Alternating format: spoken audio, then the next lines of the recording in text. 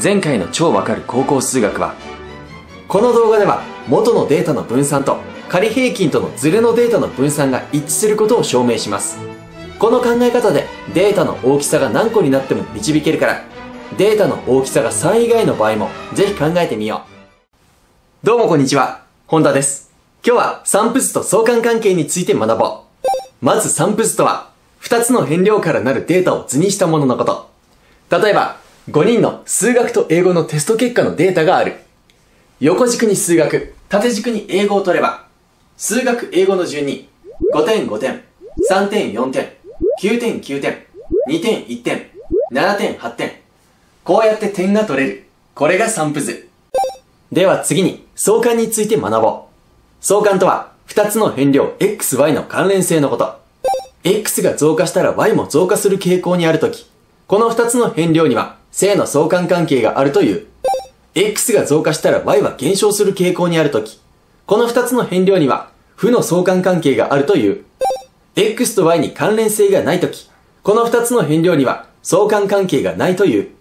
そして相関関係は散布図を見れば確認することができる。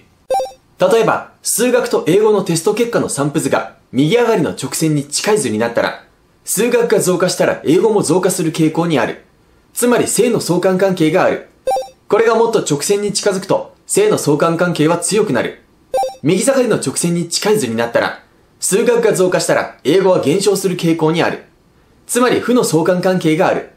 これがもっと直線に近づくと、負の相関関係は強くなる。点がまんべんなく散らばったら、数学と英語の点数に関連性はない。つまり相関関係はなしになる。では改めて、今回のデータを分析してみよう。散布図を見ると、右上がりの直線に近い図になっているから、正の相関関係があることがわかるね。散布図を書くことによって、データから数学ができる人は英語もできるという傾向を読み取ることができる。今日の動画内容をまとめると、散布図とは2つの変量からなるデータを図にしたもののこと。散布図が右上がりの直線に近い図になったら、正の相関関係がある。右下がりの直線に近い図になったら、負の相関関係がある。点がまんべんなく散らばったら、相関関係はなしになり、図が直線に近づくほど相関関係は強くなる。この関係を覚えよう。それではまた次の動画でお会いしましょう。ありがとうございました。今日の作品はどうでしたか？気に入ってくれたらぜひチャンネル登録をお願いします。Twitter は公式ホームページから、次の作品はこちらからお願いします。いつも素敵なコメントありがとうございます。